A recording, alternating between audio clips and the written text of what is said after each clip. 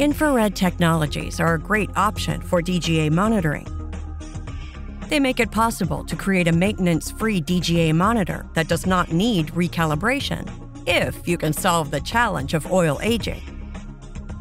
IR gas detection relies on simple physics. Every gas absorbs IR light at certain wavelengths. This is used to identify the gases and to measure their concentrations. On the other hand, transformer insulation liquids are surprisingly complex in their chemical composition.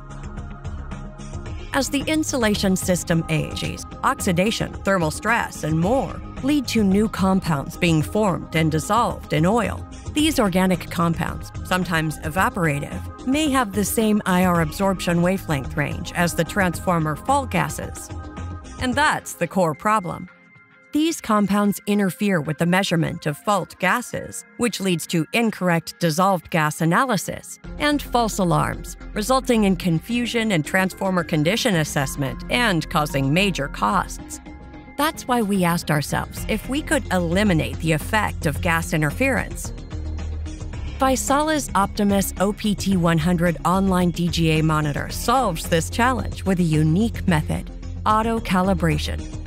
It frequently and automatically analyzes the oil composition and compensates for the interfering gases, giving you accurate DGA readings and maintenance free, reliable gas trending with no false alarms. With auto calibration, effects of the interfering compounds are removed. When you can trust the measurement data, you can make better informed decisions. That's robust science for DGA by Vaisala.